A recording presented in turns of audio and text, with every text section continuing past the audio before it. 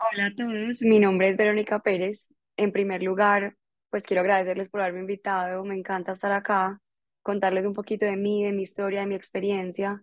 Creo que más allá de lo que sé o el conocimiento que tengo, es contarles un poquito de lo que he vivido, de lo que he aprendido a través de los años, em, basado pues como en mi experiencia, valga la redundancia. Espero que lo disfruten, que les sirva y bueno, voy a empezar pues como por lo primero, creo que antes de hablarles de cómo enfrentar los retos para crear un negocio, que es el tema que vamos a hablar acá, quiero empezar por decirles quién soy yo, quién es Verónica. Eh, yo soy egresada de la Universidad de AFIT, me gradué de negocios internacionales, eh, trabajé durante más o menos tres años como negociadora internacional, tres años y medio. Y de la última empresa en la que trabajé, un día tomé la decisión de emprender. Creo que no fue una decisión muy personal, fue más bien impulsada por las personas que tenía en ese momento a mi lado. Vengo de una familia en la que mi mamá siempre ha trabajado como empleada en una empresa. Mi papá trabajaba como empleado, digamos, pero en una empresa de su hermano, entonces digamos que se puede manejar también como un emprendimiento de su hermano, del cual él es quien se encarga hoy, pues porque ya mi tío se jubiló, pero digamos que tenía los, los dos lados en mi casa y creo que tanto, sobre todo para mi mamá, como para mí fue un paso difícil porque uno a veces cree que por la comodidad en la que está, por trabajar en una empresa donde pues finalmente pase lo que pase, recibe un salario, tiene, pues no sé, prestaciones, vacaciones, prima, etcétera. Uno le da susto como dar ese paso a enfrentarse al mundo uno solo, porque pues realmente es eso, cuando uno emprende, uno empieza solo, pero eso es lo lindo de esto y pues quiero como empezarles a contar un poquito cuando les cuente más de mi historia, porque todo viene de muy atrás.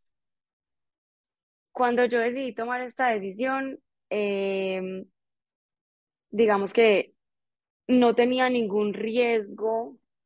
entre comillas, porque estaba viviendo con mis papás. Entonces uno siente como esa seguridad de yo estoy en mi casa, tengo el respaldo de ellos, si cualquier cosa me pasa, pues ellos van a estar ahí para mí. Pero de todas maneras, yo nací en una familia en la que todos hemos tenido que trabajar por lo que tenemos. Y creo que eso nos pasa a todos. Y cuando uno siente que le van a cortar eso que tiene para poder, pues, seguir adelante, para pagar sus cosas, para pues no sé, vivir para pagar las cosas de la casa, los servicios, del internet, eh, la salud, eh, para salir a tomarse algo con un amigo, comerse un helado, ir a comer rico. Cuando uno le quitan todo eso, de todas maneras uno siente un límite y pues digamos que a pesar de que yo tenía un techo, se me estaba yendo pues como lo que yo estaba construyendo como, como persona, porque pues finalmente uno trabaja para empezar a construir todos mis ahorros, todas mis cosas que había, digamos que alimentado con los años, con los tres años, tres años y medio que llevaba trabajando, pues ahora se iban a ver afectados porque iba a tener que empezar a gastar eso que llevaba ahorrando y guardando para mi futuro. Mm, soy una persona que siempre he sido súper empleada, pues a mí no me cuesta estar bajo una directriz, no me cuesta que me digan qué hacer, no me cuesta tener un equipo de trabajo, por el contrario, me encanta tener un equipo de trabajo. Y cuando uno emprende, uno cree que le van a quitar todo eso, como que uno ya no va a tener un equipo, que uno ya eh, va a estar solo, que todo depende de uno y pues sí, de cierta manera sí, pero finalmente vas a trabajar con personas, digamos que depende del negocio que vayas a hacer, trabajarás con muchas o pocas personas, pero de todas maneras uno hace equipo de alguna manera. Por lo menos en mi caso, yo hice equipo. Claramente cuando uno lidera es distinto a cuando uno es parte, pero uno aprende de todo eso y pues creo que después como de enfrentarlo durante un tiempo, de negarme, de asustarme, lo aprendí a manejar. Entonces,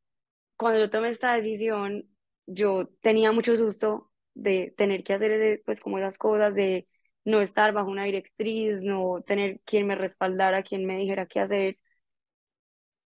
pero tenía personas a mi lado, como les dije, pues como al principio, que me impulsaron a tomar la decisión y me dijeron, tú eres capaz. Y yo decía, yo no soy capaz. Ellos me decían, tú sí eres capaz. Digamos, porque eran personas que sí eran emprendedoras, que sí sabían, eh, digamos, que manejar este tipo de situaciones, que siempre les había gustado como manejar sus cosas, no estar bajo una empresa, sino que ellos siempre quisieron como, digamos, lanzarse o tirarse al charco, como dicen, pues como vulgarmente. Em, y ahí fue que yo dije, bueno, listo, ¿por qué no? Pues lo por qué puede pasar es que no funcione. Y claramente me da susto que no funcionara, porque es que uno está arriesgando un montón de cosas, pero es una decisión muy linda y es un reto que es de uno y para uno,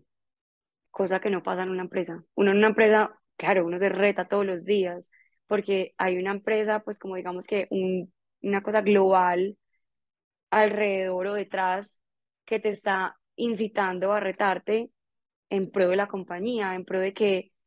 los proyectos salgan, de que la compañía crezca. Y eso es lo que digamos que hoy yo tengo que hacer por mi equipo, pero cuando es uno quien se tiene que retar a uno mismo, quien se tiene que enfrentar a dos miedos solo, quien tiene que saber que si no se levanta, pues deja de producir, porque depende de uno, es, digamos que, además de mucho más lindo, mucho más como satisfactorio, como gratificante, porque estás haciendo algo que es de ti para ti. Em, la decisión de emprender, que yo nunca la tomé. Como les dije, fue más bien impulsada por lo que tenía a mi alrededor. Y siento que fue más fácil de lo que yo hoy pienso o pensaría que hubiera sido. Y de lo que veo a mi alrededor, porque yo veo, pues obviamente conozco mucha gente que emprende, tengo muchas personas a mi alrededor, pues que me dicen lo quiero hacer, cómo hago, y yo realmente no tengo una fórmula porque yo no sé ni cómo hice. Simplemente en la vida uno tiene que aprender a tomar decisiones y les está hablando la persona que más le cuesta tomar decisiones. Pues a mí me cuesta hasta decir dónde quiero ir a comer hoy o qué quiero desayunar hoy. A mí me cuesta hasta tomar esas decisiones porque yo quiero todo, pero uno tiene que ir por pasos. También es algo que uno va pues como que aprendiendo, pero al uno ni siquiera tomar la decisión, sino simplemente decir, hagámosle, no importa qué pueda pasar, finalmente están todas las posibilidades expuestas, tanto trabajando en una empresa como emprendiendo, porque es que también en cualquier momento te pueden despedir, uno no, no, tampoco puede controlar eso. Entonces yo creo que esa decisión, a pesar de que uno nunca la tome o que sea una decisión difícil, o fácil, porque para unas personas puede ser fácil, es una decisión que nunca vas a saber cuál es el resultado hasta que lo ensayes. Y eso pasa como con todas las cosas de la vida y uno a veces cree que, pues como por no hacer, digamos, un estudio o un trabajo profundo antes, pues que esté como respaldado, no le va a funcionar y eso no es así, se los estoy diciendo yo que nunca preparé nada, nunca planeé nada, solo cerré los ojos, confié y digamos que deposité esa confianza en mí, que creo que es lo más difícil. Uno a veces no confía en sus capacidades y en lo que puede llegar a ser. Yo decidí confiar en mí y enfrentarme a lo que podía venir. Em, como les decía ahorita, creo que hay muchos retos a los que uno se enfrenta. Creo que para mí el reto más grande ha sido ser yo quien resuelve todo, ser esa cabeza, digamos que supongo que será muy similar a ser el presidente de una compañía, solo que yo tengo una compañía un poco más acorde a lo que yo soy capaz de manejar sola, porque una compañía tiene un montón de áreas que pues como que lo, lo ayudan y lo respaldan a que el presidente o el gerente general pueda pues como hacer su trabajo, tomar las decisiones, eh, acompañar al equipo, pues porque claramente no podría solo. Entonces creo que eso ha sido como lo más complejo, como el, pues el, el, el hecho de uno recibir todo, las cosas buenas, los problemas, eh, las situaciones, eh, pues no sé, que falta algo, que sobra algo, que no tenemos plata para pagar esto, que tenemos que comprar esto porque si no, no vamos a poder eh, funcionar pues como de manera óptima. Mejor dicho, como que uno se empieza a enfrentar a un montón de problemas, uno todo lo ve como un problema que uno tiene que resolver y uno dice, necesito que me ayuden, pues yo quiero a alguien que me diga qué hacer, o necesito a mi mamá, o resuelvan ustedes, yo no sé qué hacer, pero yo un día entendí que pues resuelvan ustedes no era una opción, que yo tenía que ser quien daba esa primera directriz, obviamente ya en este punto en el que pues yo llevo tres años y medio con mi negocio, entonces pues tres años y nueve meses, abrimos en enero del 2019. Digamos que ya en este punto sí puedo decir, resuelvan, resuelvan porque ustedes ya están capacitados para resolver. Y eso también les da pues como a las personas del equipo de trabajo un, digamos, un motivo o un aliento o digamos que un soporte para ellos entender que eso también es de ellos, que es que a pesar de que sea uno quien tomó la decisión de emprender y ahora uno, uno sea quien tiene unos empleados y pues sea uno quien maneje el equipo, pues todos los empleados hacen parte del equipo. Yo no podría trabajar sin mi equipo, yo no sería nadie sin mi equipo. Entonces eso les da a ellos como ese, es que yo también estoy aquí por una razón y yo también puedo ayudar a mi jefe o a esa persona que está a cargo a, digamos, resolver una situación o a dar mi opinión acerca de una situación o simplemente pues como que ayudar a buscar otras opciones para resolver la situación o para que no ocurra más adelante. Entonces, pues a pesar de que lo más difícil es ser uno esa cabeza, es, digamos que para mí, de las cosas más bonitas de este proceso, porque yo no les voy a decir que aprendí a manejar un equipo porque no lo he aprendido a manejar. Todos los días me enfrento a el hecho de tener que manejar un equipo, pero digamos que eso es lo más bonito de todo esto, que uno entiende que emprender no es estar solo, no es no tener un equipo, no es sacrificarse, no es renunciar a un montón de cosas, no, todo lo contrario, es tú plasmar todo eso que aprendiste de una carrera que llevabas empresarial a algo que ya es tuyo. Pero finalmente ese bebé tuyo, porque para mí es un bebé, es mi hijo que digamos que es la razón por la que yo todos los días me levanto a trabajar. Ese hijo tuyo ahora es una pequeña muestra de todo lo que tú traes y de lo que aprendiste en esa empresa grande, en esa multinacional o pequeña o mediana, no importa cómo haya sido la empresa, pero traes como que todo lo que viviste eh, y que te dio como las bases para hacer lo que estás haciendo hoy. Y bueno, digamos que yo tengo mucho que agradecerle a las personas que lideraron el equipo en el que yo estuve atrás, pues en los equipos, porque no fue solamente uno, porque me ayudaron a entender un montón de cosas o a manejar un montón de cosas eh, y a pararme en la posición de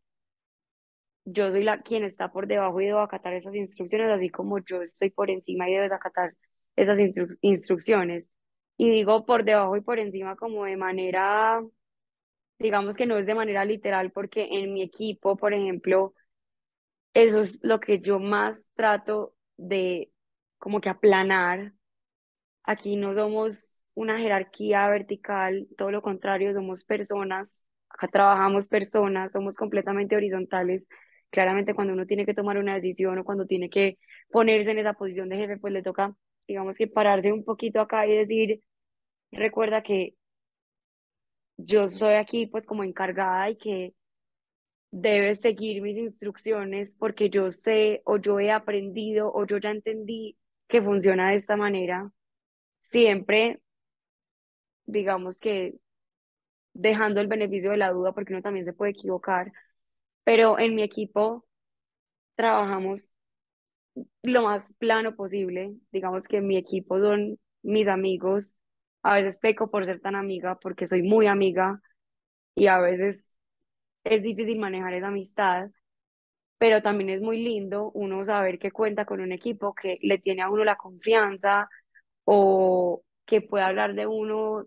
de todo y de mucho, perdón, de todo y de poco, del trabajo y de lo personal, que uno puede estar ahí para todo y no solamente para el trabajo, no solamente para hablar de cómo nos fue hoy, de cuánto vendimos, de eh, lo que tenemos que hacer para mañana, de estamos haciendo esto mal, qué vamos a hacer. No, uno también puede hablar de cómo está tu mamá, cómo está tu hijo, qué rico que te vas de vacaciones, para dónde vas, te puedo recomendar esto, esto y esto. O ven, es que me gusta la manera en la que tú haces esto, explícame, cuéntame un poquito más, conocerse. Creo que eso es lo más importante para mí. Y también eso me dejó mucho, digamos que una de las empresas en las que trabajé, porque también viví como esa barrera con mi jefe y en mi opinión eso no es tan chévere, porque es que finalmente todos estamos ahí por una razón. El jefe no podría trabajar solo, tampoco, por más de que sea quien lidere, pues si eso fuera, si él fuera capaz de manejar las cosas solo, pues estaría solo y no tendría un equipo. Es lo que yo les digo a todos, pues cada vez que tenemos una reunión a mi equipo. Si yo pudiera tener esto solo, pues me ahorraría la nómina, no tendría nada, pues no tendría responsabilidades que pagar una plata tan grande que no se le dan nómina, en seguridad social, en, mejor dicho, en problemas, en un montón de cosas, pues me ahorraría eso, pero pues ¿cómo? Yo no podría sola. O sea, si no fuera por ellos, no sería nada. Entonces, eh, también como haber vivido esa barrera me enseñó a no tenerla, a como aprender a trabajar en equipo y saber que aquí todos venimos por un solo fin, que es trabajar en pro de la empresa, de la marca, del restaurante, de lo que sea que se esté manejando, que finalmente todas son empresas, pequeñas, medianas o grandes son empresas, eh, y que pues el hecho de que una persona no trabaje o no se sienta como conectada con eso, pues simplemente va a entorpecer el trabajo del resto y va a, pues como a afectar al equipo, entonces pues de pronto no es tu lugar. Todas las personas que trabajan conmigo, creo, espero que tengan mi mismo propósito y mi mismo fin, que es pues como cumplir con una promesa que hicimos el día que nosotros abrimos, eh, que es una promesa que es, digamos que, muy importante y muy comprometida con las personas que son nuestro público y nuestros clientes. No quiere decir que lo hagamos perfecto, no quiere decir que no nos equivoquemos, no quiere decir que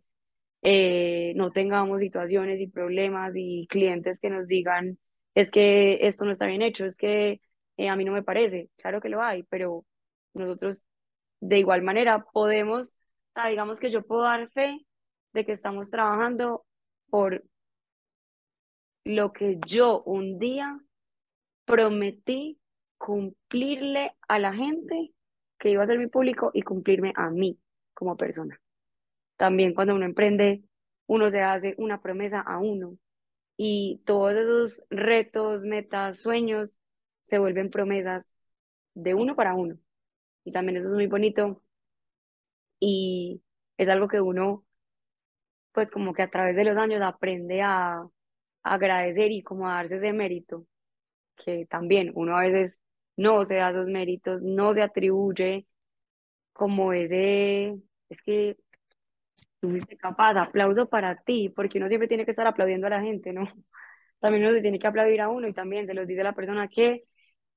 le cuesta aplaudirse todos los días. Em, bueno, creo que también quiero hablar un poquito de lo que vivimos hace dos años, porque también es una situación desafortunada y afortunada a la misma vez. Y quiero contarles un poquito por qué. Creo que para todas las empresas fue como, Dios mío, tenemos que cerrar, no podemos trabajar, tenemos que mandar a todo el mundo para la casa, estamos en una pandemia, nunca nos había pasado esto, ¿qué vamos a hacer? Y digamos que para mí fue, creo que es de los mayores miedos que he sentido, porque yo dije, Dios mío, yo tengo a cargo, en ese momento teníamos ocho empleados, entonces yo decía, yo tengo a cargo ocho personas, ocho familias, ocho vidas, eh, ocho futuros,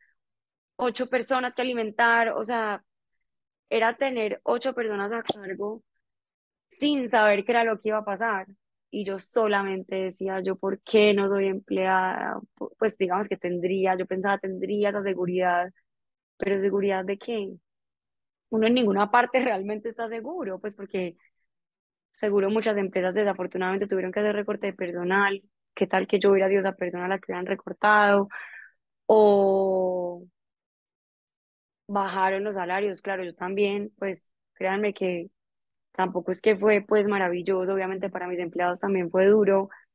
pero creo que lo más lindo de eso fue el apoyo que recibimos tanto ellos de mí, porque pues también me voy a dar ese mérito y es que yo traté de apoyarlos todo lo que pude, hice talleres, cursos, mejor dicho, recogí donaciones, mercados, de todo, para poderles dar una ayuda de mi parte, pues o de parte de nuestra empresa y el apoyo que yo recibí de ellos diciéndome, jefe, eh, sabe que yo me puedo quedar en la casa porque en este momento mi hermana está trabajando y tenemos con qué sostenernos. ¿Por qué no le da la oportunidad a esta persona que ella tiene muchos hijos y de pronto para ella está siendo un poquito más difícil? Y en unos mesecitos nos rotamos y así lo fuimos llevando y fue muy bonito tener ese apoyo de esas ocho personas de pues decirme tranquila, no estás sola, no te vas a caer, podemos entre todos y pues así fue. Así salimos y pues obviamente en agradecimiento pues como a todas las personas que nos apoyaron, pero creo que lo más importante fue el equipo que tuvimos. Gracias a eso hoy estamos donde estamos, hoy son 25 empleados y lo digo como con, me da como un dolorcito en la garganta y me llena también de orgullo porque es más, se me ponen aguados los ojos, yo soy una persona muy emocional porque digo, o sea, en dos años pasamos de ser ocho, de vivir una pandemia que pues nadie se imaginó que iba a vivir, que nadie estaba preparado para vivir, y pasamos de tener ocho personas a tener 25 y ser un equipo fuerte y ser una empresa que es capaz de salir adelante sola, que no hay que inyectarla con capital ni, pues sí, no hay que meterle pues como plata, sino que ella anda sola. Claro, obviamente no es que, no les voy a decir que recibimos un montón y que libramos esto, no, claro que no. Todos los días nos enfrentamos a un montón de retos, a un montón de sustos cuando decimos, Dios mío, tenemos que pagar unos proveedores y la cuenta está bajita, ¿qué vamos a hacer para, para subirla? Y llamamos, nos inventamos un evento, hacemos una activación, no sé, pues como que buscamos la manera de inyectarnos, pues desde el restaurante mismo, no desde los socios, sino que el restaurante camina solo. Y eso también es muy lindo, es muy bacano uno todos los días tener un problema, qué pereza que todo fuera tan plano, que nunca hubiera nada para hacer. Todos los días hay millones de cosas para hacer. Y mantenerse ocupado, pues, para mí es, digamos que el, la dosis perfecta o, el medicamento perfecto para la salud mental. Yo no podría estar desocupada. Yo soy una persona que siempre, a pesar de ser empleada por naturaleza, le ha gustado mucho trabajar, estar activa, moverse. Y ahora que soy emprendedora, sí, ¿qué más? Yo todos los días me levanto y yo digo, es que te tenés que parar, porque es que esta empresa corre también por cuenta tuya. No solamente es que los empleados vayan y trabajen mientras uno se rasca la barriga en la casa, todo lo contrario. Y a veces creo que muchas personas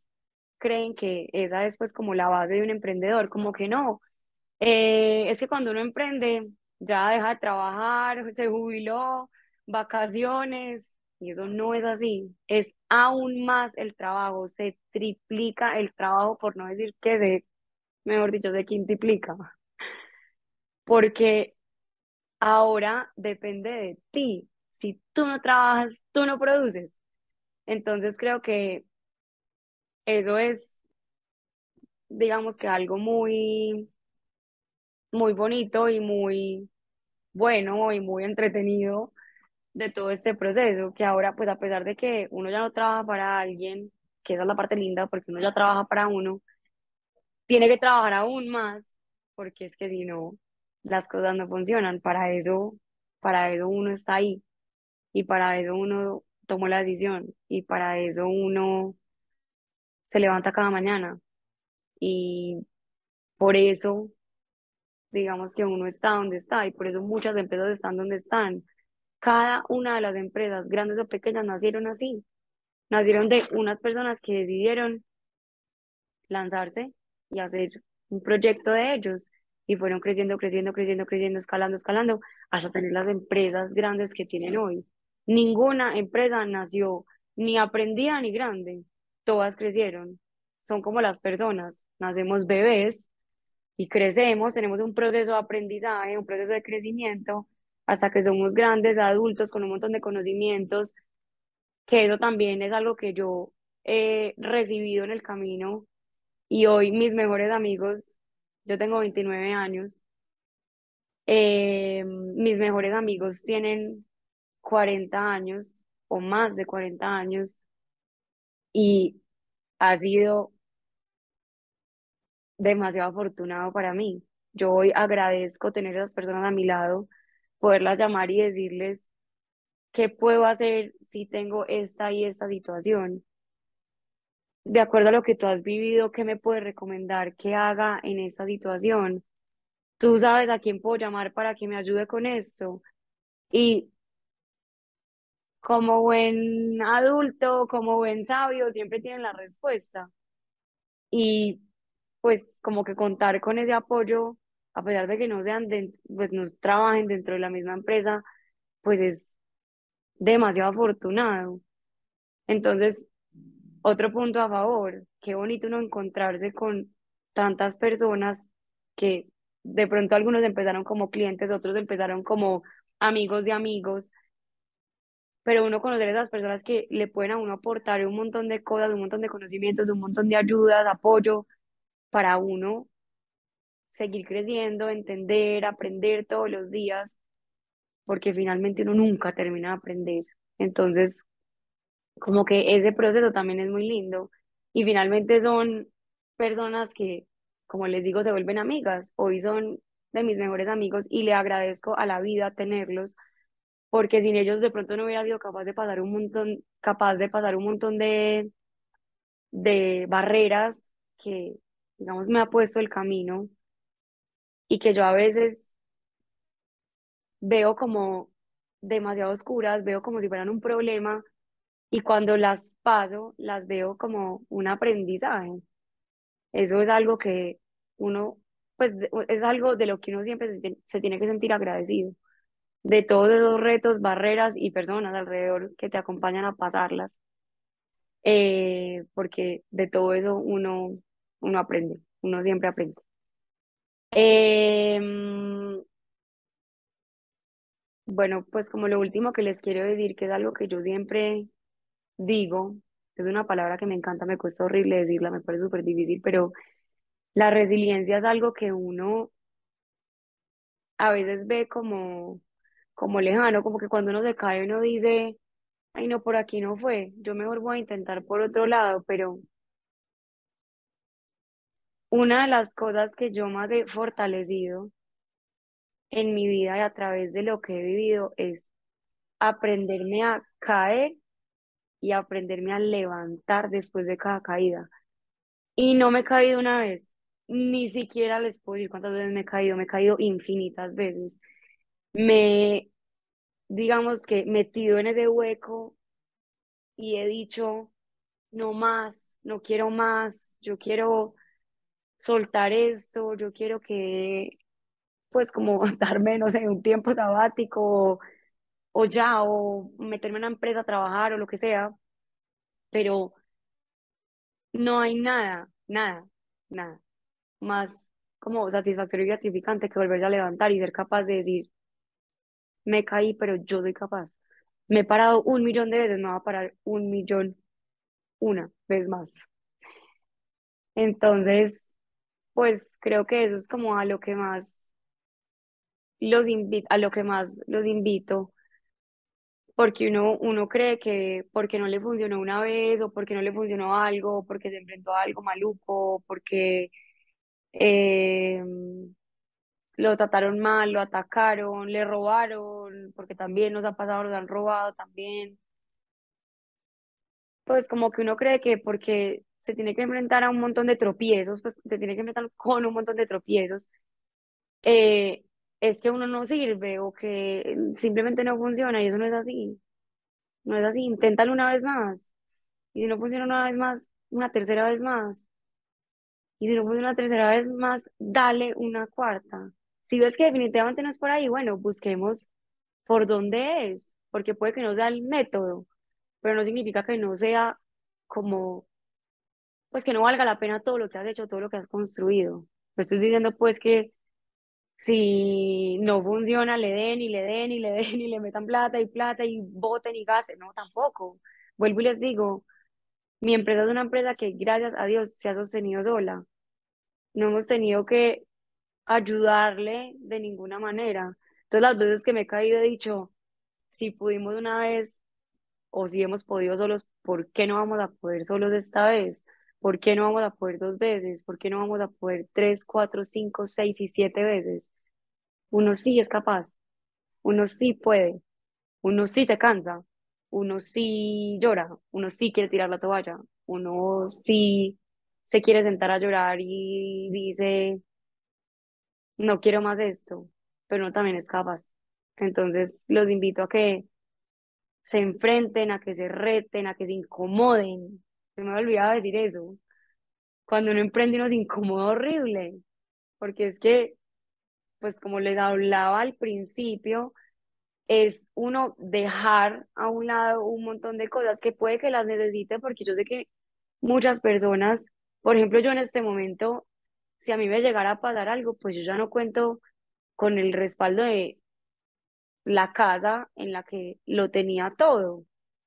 Yo ya, pues, tengo que, pues yo vivo sola, entonces yo necesito cumplir con mis cosas y claro, no les voy a decir que no tengo a mi familia detrás, claro que sí, mi familia siempre va a estar ahí, mis amigos siempre van a estar ahí, pero pues uno quiere poder salir adelante solo. Entonces, pues digamos que llegar a esa incomodidad, incomodarse todos los días y decir, hoy no puedo, hoy no puedo ir a comer rico porque